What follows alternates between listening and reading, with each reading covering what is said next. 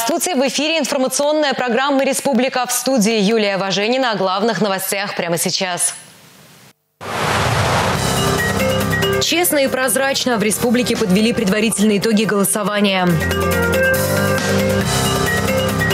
От А до Я Республиканская служба единого заказчика, координатор строительства объектов социальной сферы.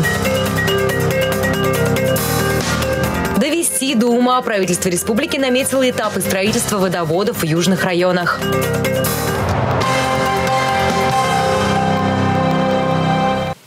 Главная новость дня – выборы главы Чувашии состоялись уже в первом туре. Временно исполняющий обязанности руководителя региона Олег Николаев набрал почти 76% голосов. Таковы предварительные итоги голосования на сегодня. Победы Олега Николаева ждали многие. Представители органов власти, с которыми он работал последние семь месяцев. Руководители городообразующих предприятий, заинтересованные в улучшении инвестклимата в Чувашии. Предпринимательское сообщество за время пандемии, получившее убедительное подтверждение. Своих не бросают. Жители республики, связывавшие с ним надежду на перемены к лучшему. Ожидания у всех разные. У меня, конечно, ожидания те, что я хочу, чтобы победил мой кандидат, за которого и та партия, за которую я проголосовала. Еще на старте выборной кампании выдвижение Олега Николаева поддержали почти 10 тысяч человек, при том, что необходимое количество подписей должно было быть в два с лишним раза меньше. Уже во время встреч кандидата с избирателями стало ясно – есть контакт. Мы на самом деле провели очень большое количество встреч, как а, по оценке э, и политтехнологов, и нашей оценки, а, такой охват а, и выход в люди, ну, наверное, на протяжении там, последних э, выборных кампаний не было. Первые встречи, наверное, были более такие напряженные, потому что, во-первых, все как бы друг друга пытались понять. А вот последующие встречи, когда уже была сделана презентация, где было вот абсолютно наглядно показано, что было сделано за предыдущий период времени, когда Олег Алексеевич пришел вот к, к руководству региона, какие действия будут в последующем. Ведь это же для людей было вот показательно. То есть они увидели, во-первых, в его лице очень такого интенсивного и очень а, правдивого руководителя, который ставит задачи, он их решает, и это было уже видно на протяжении вот этих последних месяцев. И очень важно, чтобы люди откликались на вот этот диалог. После завершения голосования Олег Николаев признался, по сравнению с выборами пятилетней давности, когда он шел кандидатом от оппозиции, и задачи, и ощущения совершенно иные. Время прошло, целых пять лет. И э, за эти пять лет жизнь очень сильно изменилась. И э, вопросы другие. А на этот раз э, для меня было очень важно конвертировать то доверие президента, которое было доверие народа. И для этого за те семь месяцев, пока я исполнял обязанности временно, я старался показать, какие направления можно было бы реализовать в Чувашской республике для того, чтобы жизнь менялась. И эти решения, они, на мой взгляд, оказались ощутимыми. Кроме того, я искренне э, старался объединить всех для того, чтобы разработать действенную программу по масштабированию тех маленьких изменений, которые произошли за последние полгода с лишним. Выборная кампания завершилась неожиданно. Впервые почти все кандидаты собрались в едином информационном центре, чтобы обменяться мнениями и поблагодарить друг друга за честную борьбу. Я должен честно признаться, э, по сравнению с теми выборами, которые были раньше, сегодня я могу сказать, что у нас э, выборы в действительности прошли так на равных условиях и честно. Не было грязи. Хочу поблагодарить тех, кто э, просто пришел на избирательные участки так как э, каждый голос важен для активности нашей республики. И что еще более удивительно, впервые все недавние оппоненты выразили готовность к сотрудничеству. Будем работать с новым руководством, уже избранным, на благо жителей Чувашской республики, на то, чтобы наша республика, она процветала и вышла из того сумрака, в который она была определенным образом погружена. По предварительным подсчетам на втором месте кандидат от КПРФ Александр Андреев. У него чуть больше 10% голосов. На третьем Константин Степанов от ЛДПР 5,5%. Четвертое место и 3,5% голосов у Николая Степанова, партии пенсионеров России за справедливость. У Сергея Матвеева от партии патриотов России более 2%. И для дебюта на главную должность в республике это очень неплохо. Такова реальная картина расстановки политических сил в Чувашии на сегодня. В единый день голосования в республике выбирали и депутатов органов местного самоуправления. Итоги предварительные. На выборах в Чебоксарское городское собрание депутатов по 21-мандатным избирательным округам лидирует «Единая Россия». Она набрала более 35%, следом идет КПРФ около 17%, ЛДПР более 13%, «Справедливая Россия» более 12%, партия пенсионеров 9,5%. Эти партии преодолели 5% барьер и по закону смогут получить места в столичном собрании. Явка избирателей по предварительным итогам составила 43%. Выборы в Чебоксарское городское собрание депутатов депутатов седьмого созыва прошли по смешанной системе. Из 43 депутатов по одномандатным округам будет выбран 21 депутат. По единому избирательному округу будет замещено 22 депутатских мандата из представителей партий.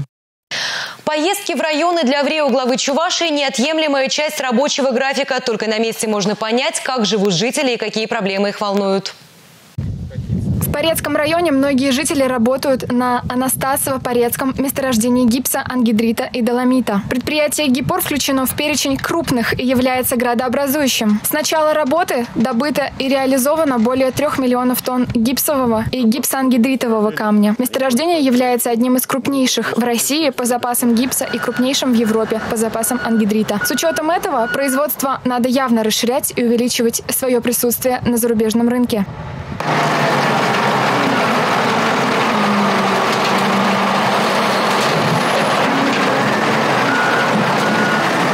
Мы автоматически занимаем очень серьезные конкурентные ниши, которые на сегодняшний день имеются как на территории Российской Федерации, так и формируются с точки зрения международных э, взаимоотношений. Э, почему? Потому что на сегодняшний день э, все виды производственной деятельности, ориентированные на экспорт, они очень серьезно поддерживаются со стороны государства. Побывал Олег Николаев и в селе Атрать Алаторского района. Вместе с представителями местного самоуправления обсудили реконструкцию стадиона физкультурно-спортивного комплекса «Мечта». В числе приятных новостей – вручение ключей от нового дома многодетной семье. Супруги Варава воспитывают пятеро детей.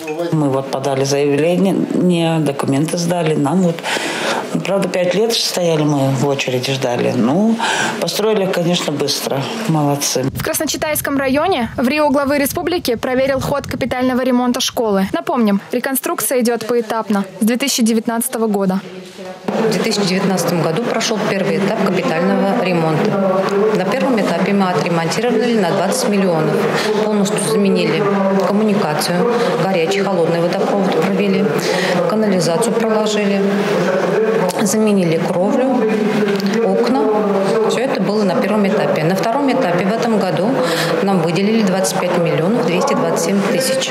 В этом году мы заменили двери, выровняли все стены, окна, выровняли стены, потолки, а, протянули пожарную сигнализацию и, и, замен... и обшили фасад. В 2021 году планируется провести капитальный ремонт водопроводных сетей. Уже разработана проектно-сметная документация. Есть положительное заключение государственной экспертизы. Ульяна Питакова, Игорь Зверев, Республика. Правительство России поможет республике достроить станции водоподготовки и групповых водоводов Шимуршинского, Батаревского и Комсомольского районов. Поддержать регион обещал президент Владимир Путин во время видеоконференции с Олегом Николаевым. Это водохранилище уже давно облюбовали рыбаки, но предназначено оно не для ловли рыбы, а для снабжения качественной питьевой водой 100 тысяч населения Шамуршинского, Батаревского и Комсомольского районов. Водохранилище на реке Карла для питьевого водоснабжения появилось еще в 2009 году. Тогда были построены плотина, комплекс водоочистки, подачи и сброса воды. Но вода до населенных пунктов так и не дошла. Проблема остро стоит. Здорово было бы и для развития производства, расширения производства, и для наших жителей. У нас мы действительно в селе Шумуша подаем воду, там часть техническая вода, часть питьевая вода.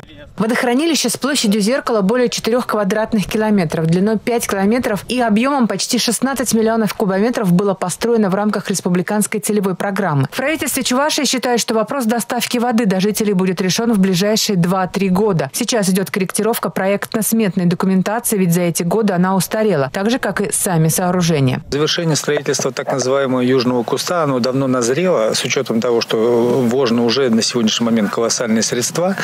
А, осталось, по большому счету, только до завершения строительства групповых водоводов. Сегодня, а, значит, групповые водоводы разбиты на 11 этапов. Из них второй этап, он построен, но в силу того, что а, его мощности недостаточно для того, чтобы запустить очистные сооружения по малому кругу, очистные сооружения не были запущены. Наша основная сегодня задача – это построить оставшихся 10 э, этапов водоводов, чтобы жители э, нашего Э, так скажем, южных районов наконец-то получили а, воду по словам министра, сегодня реализация проекта находится в активной фазе. Технологии Шамуршинского водохранилища не потеряли актуальности. На 10 пусковых комплексов по предварительным подсчетам необходимо 1 миллиард 700 миллионов рублей. В ближайшее время на объект выйдут специалисты, чтобы провести мониторинг и оценить степень его изношенности. Татьяна Молокова, Павел Редков, Республика. В начале нового учебного года с повестки дня не сходит вопрос организации бесплатного горячего питания для учащихся начальных классов. Эксперты мониторят ситуацию в учебных заведениях. Об этом сегодня говорили на еженедельном совещании в Доме правительства. Бесплатное горячее питание получают все младшеклассники. Двухнедельное меню, разработанное с учетом сезонности, калорийности и питательности суточного рациона, необходимого для нормального роста и развития детей, согласовано с Роспотребнадзором. Большинство предпочли полноценные обеды, но есть выборы в пользу завтрака. Льготные категории учеников тоже получают бесплатное питание. На данные цели в Чувашской республике на 2020 год из федерального бюджета было выделено более 240 миллионов рублей. Отмечу, что э, в Батревском районе, в Нарваш-Галинской основной общеобразовательной школе э, было выявлено, что фактически рацион питания школьников не вполне соответствует утвержденному Роспотребнадзору меню. Э, в конце прошлой недели все замечания были устранены. В настоящее время меню соответствует утвержденному меню Роспотребнадзора первые же учебные дни эксперты побывали во многих школах, чтобы наглядно убедиться, чем кормят детей. Пока нарушений не обнаружено, но работа в этом направлении будет продолжена. Специалисты проедут по всем школам. В республике создают службу единого заказчика. Это решение озвучено пару месяцев назад. Курирует работу Минстрой Чувашии. Служба в первую очередь возьмет на себя функции оператора по проектированию и строительству объектов здравоохранения и образования в рамках национальных проектов. Служба будет вести все строительные процессы от и до. Централизация позволит полностью контролировать качество работ, сроки и, что немаловажно, экономить бюджетные средства. Есть огромный потенциал повышения эффективности по всем направлениям. Особенно если более э, поступательно, более динамично будет внедряться так называемый э, процесс реализации э, объектов строительства в рамках как бы, контракта жизненного цикла. Работа, которую мы сейчас с вами начинаем, начинаем. Здесь дает нам колоссальные возможности и ускорение реализации проектов, ну и, конечно же, Э, повышение качества. Но при этом, вот как раз на первый план выходит вопрос взаимодействия.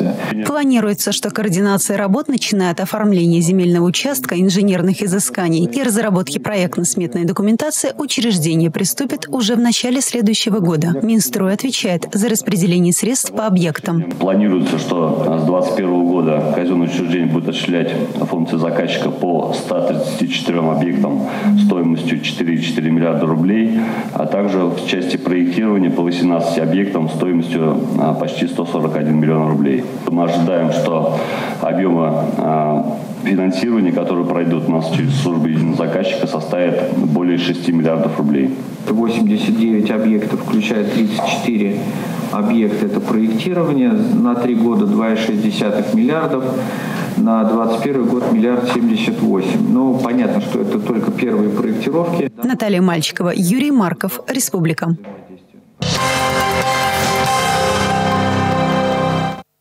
В Батаревском районе республики произошла дорожная авария со смертельными исходами. Погибли сразу три пассажира. 13 сентября около 6 часов вечера в Батаревском районе 21-летний водитель «десятки» не справился с управлением и вылетел в кювет. Автомобиль перевернулся. Водитель и три его пассажира вылетели из машины, в результате чего 81-летняя женщина и двое мужчин 21 года и 48 лет от полученных травм скончались на месте. Сам водитель госпитализирован. Находился ли он в состоянии опьянения, будут устанавливать медики. По данному факту проводится проверка, устанавливаются все причины причины произошедшего. Двух жителей Чебоксар признали виновными в организации незаконной миграции группы лиц по предварительному сговору. Обвиняемым назначено наказание в виде лишения свободы условно на срок от 1 до 3 лет с испытательным сроком на 2 и 4 года соответственно. Сотрудники управления ФСБ по Чувашии установили, что руководитель одного из туристических агентств при содействии работника Института восточной медицины РУДН и представителей национальных диаспор в 2016-17 годах фальсифицировали результаты экзаменов. Виновные необоснованно выдавали иностранцам сертификаты о владении русским языком, знании истории и законодательства России. В дальнейшем сертификаты использовались для оформления документов, легализующих пребывание иностранцев в России. Ранее Московский районный суд признал другого фигуранта дела виновным в совершении аналогичного преступления. Осужденный, являясь членом экзаменационной комиссии за денежное вознаграждение, посодействовал успешной сдаче экзаменов. В ходе расследования задокументировано три эпизода противоправной деятельности. Верховный суд Чувашской республики рассмотрел апелляционную жалобу адвокатов и оставил приговор суда первой инстанции в силе. В Рио главы Чуваши Олег Николаев встретился с финалистами Всероссийского управленческого конкурса «Лидеры России». В суперфинале участвовали пять представителей нашей республики, а Дмитрий Арсютов стал победителем. Для Чувашии в этом году участие в конкурсе оказалось продуктивным. Трое из пяти вошли в топ-100. За попадание туда боролись 300 человек со всей страны. Главный врач Республиканской офтальмологической больницы Дмитрий Арсютов шел к цели осознанно. Для большинства из нас и э, тех, кто дошел до суперфинала, тех, кто просто участвовал, в первую очередь это победа над самим собой. А победить самого себя, двинуть себя, постараться превзойти те достижения, которые уже были, ну, наверное, это один из показателей того, что человек э, как минимум чему-то стремится. Депутат Госсовета Чуваши Григорий Данилов готов работать на благо родной республики. Если говорить о готовности работать на благо республики, я думаю, такой вопрос даже задавать не надо. Все те, кто принял участие, они уже работают и готовы работать дальше. У каждого из участников были причины проверить свои силы. Лично для меня участие в конкурсе и выход в полуфинал на самом деле заставили, наверное, посмотреть на многие вещи по-другому, переосмыслить. И, и появилось вот это желание, то есть конкурс «Лидер России», именно вот здесь ключевой, наверное, России, а потом лидера, и появилось желание быть, быть полезным а, на региону, быть полезным стране. В правительстве Чуваши уже работает полуфиналист конкурса «Лидера России» прошлых лет, министр экономического развития и имущественных отношений Дмитрий Краснов. Вас хочется выделить, вас хочется поздравить. Э, на вас хочется, наверное, уже многим равняться. Вы ориентиры стали. Вы и так добились многого, каждый в своей профессиональной сфере. Но мне кажется, что у вас и будущие перспективы намного выше и лучше.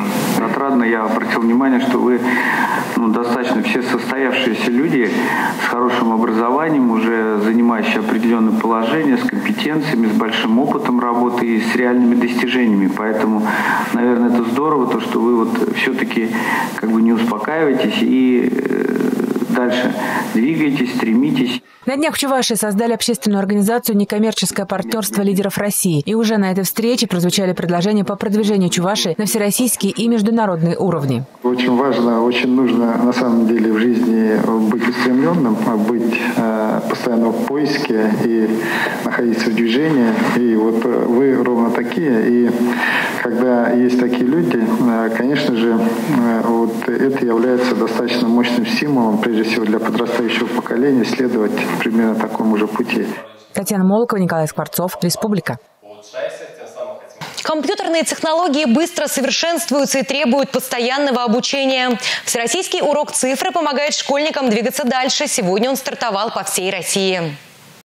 На этот раз дистанционный урок цифры посвящен искусственному интеллекту и машинному обучению. Занятия состоят из видеолекций и онлайн-тренажеров. Школьникам объясняют, что такое искусственный интеллект, как его используют в окружающем мире. Ученики смогут использовать приобретенные знания для разработки собственных программ. Игровой тренажер позволит пройти все этапы работы и понять, как самостоятельно создать алгоритм, например, для беспилотных автомобилей. После таких уроков многие школьники выбирают IT-технологии своей профессией. Мечты должны сбываться. Всероссийский благотворительный проект «Мечтай со мной» помог исполнить заветное желание девочки из Чувашии.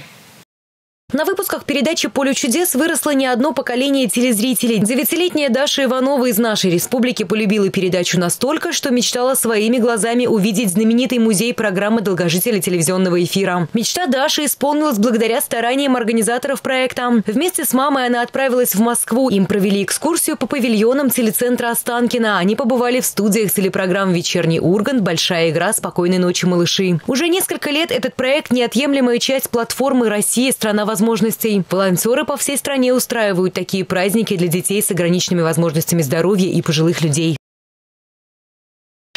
Игры на льду в преддверии нового сезона первенства ВХЛ хоккейный клуб «Чебоксары» сыграл выездные товарищеские матчи.